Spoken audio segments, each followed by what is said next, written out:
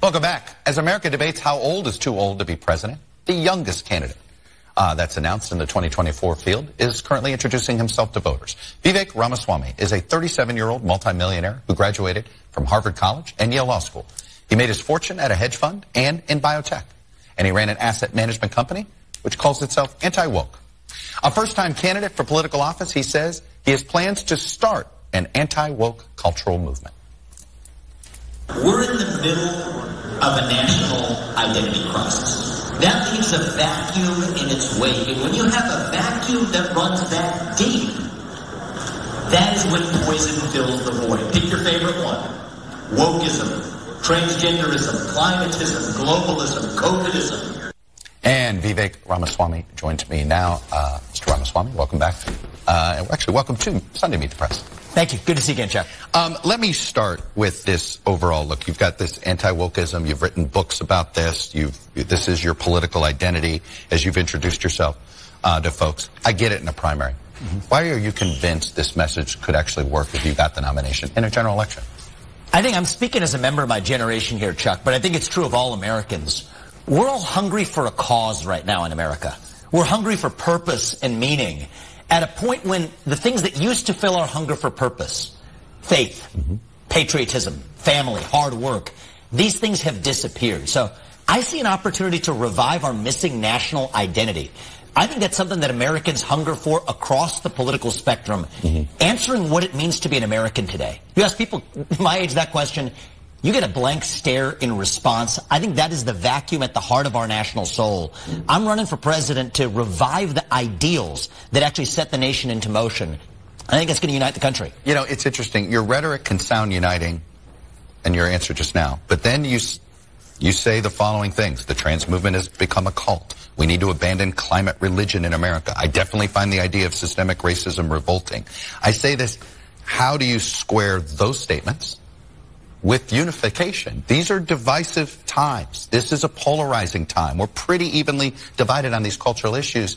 How do you unite, do you unite the country when you're essentially denigrating the views of half the country?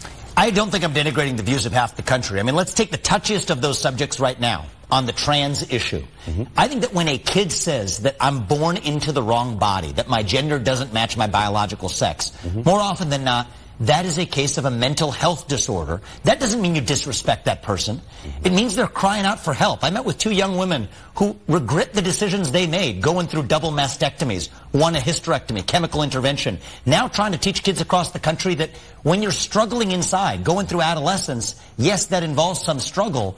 We live in a cultural moment today where adults are affirming that confusion rather than actually you ever, treating them compassionately. That's a, cruelty. You ever talk to parents that have a, a, a kid who's going through this? I have actually. Yeah, yeah and I, I mean, I mean, it's a parent. My point it's is, a difficult this, place to be. I acknowledge right. that. But yeah. what we need to do on both sides here is act with compassion, not really what makes us feel good about ourselves. Yeah. And I think that's my main issue across our response to well, transgenderism and the climate. It's solving the actual underlying issues okay. rather than what allows you to signal your virtue. What makes it compassionate, though, to uh, pass a law that denies a parent uh, uh, making their own health care decision for their kid. That's the part of this. That doesn't sound very conservative and small government to me. Well, look, there isn't a state in this union that allows you to smoke an addictive cigarette before the age of 18 that allows you to get a tattoo before the age of 18. That's a body-altering change that a kid may later regret in life. So I think it is perfectly reasonable to say that if you're after 18 years old, you're free to decide whatever you want to do. That's what it means to live in a free country.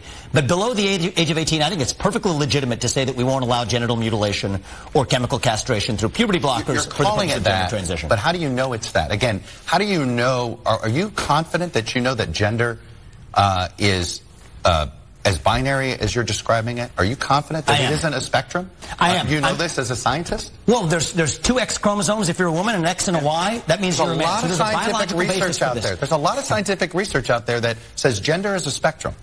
Chuck, I, I, respectfully disagree. Gender dysphoria for most of our history, all the way through the DSM-5, has been characterized as a mental health disorder, and I don't think it's compassionate to affirm that. I think that's cruelty.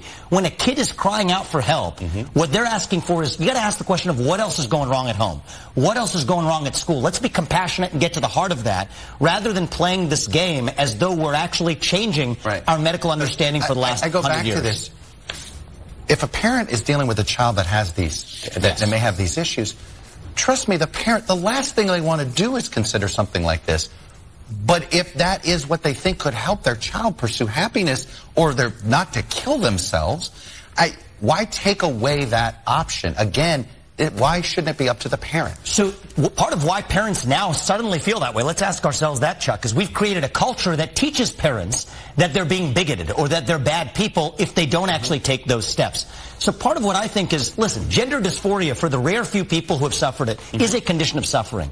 My question is, why on earth are we going out of our way mm-hmm. to create even more of it? And there's no doubt that the cultural movement in this country, even education, is creating more gender dysphoria. If it's a condition of suffering, Yeah. let's not create more of it. That's what we're doing. Let me ask you about the Disney dust up Sure. with Ron DeSantis. On one hand, I assume you agree uh, with pushing back at Disney the way Governor DeSantis has rhetorically.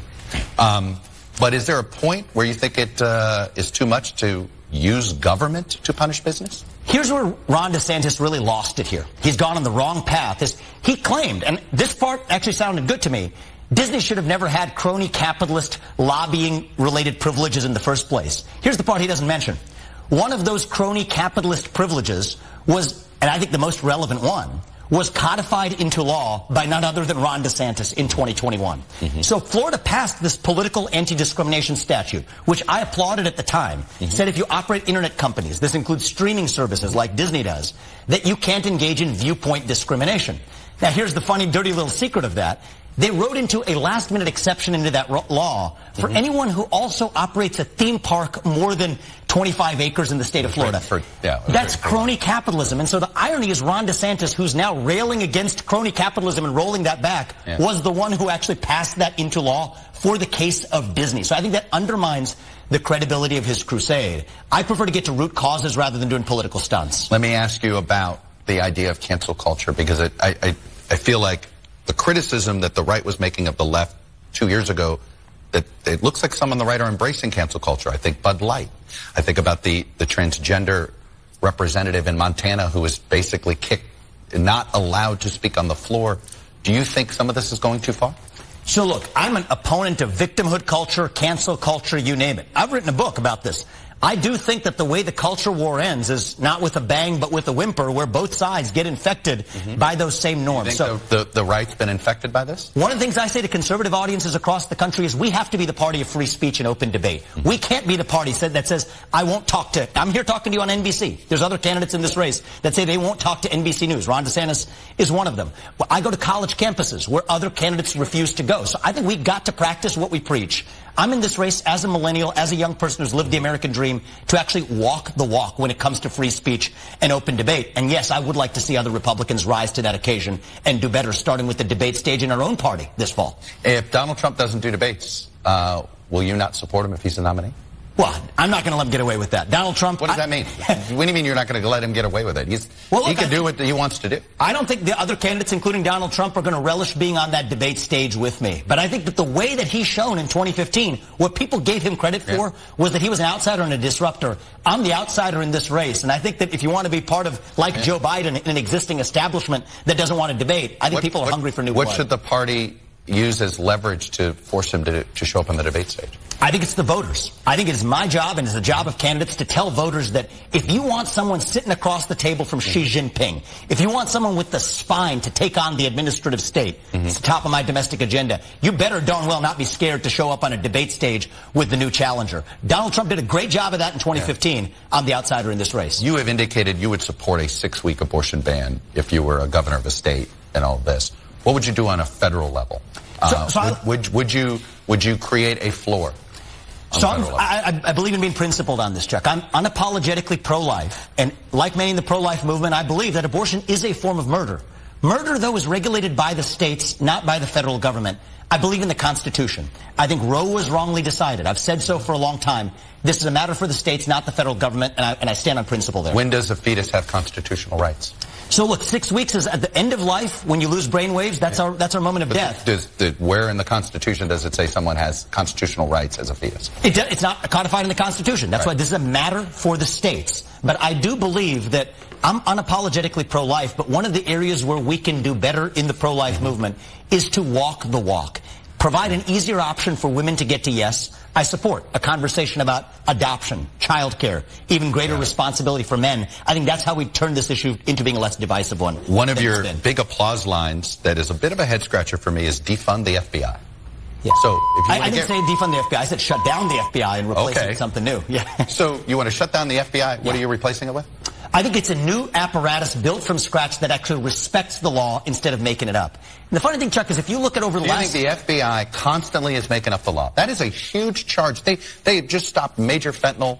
Uh, you know, been able to yes. get rid of. I mean, there's a lot of work the FBI does. I think, uh, other than respond to complaints from elected officials who don't like investigations. Well, actually, if you look over the course of the last 60 years, J. Edgar Hoover, what he did to Martin Luther King, that was an affront. It's still the J. Edgar Hoover FBI that people walk into down the street here in Washington, D.C. And I personally believe, as somebody who's running to actually run the yeah. executive branch of the government, when you have a bureaucracy whose culture becomes so ossified, every once in a while you need to turn it over. And I think that, yes, we need federal law enforcement, but that institution has, in a bipartisan way, become so I think, ossified right. in its own norms, in its own corruption, that we need to rebuild it from scratch and have something. So you're going to replace the place. FBI with the F, with a new FBI? Well, with a new institution built from scratch to, to carry out federal law enforcement, because the existing FBI, the people who work there, have worked there for so long that actually they're going to get, be getting in their own way. I think that that's actually important. And by the way, I also right, support. It does sound like it does sound like you're just replacing the FBI with the FBI. Well, the problem is there's people who have worked there for decades, and so what I say is if I'm the U.S. president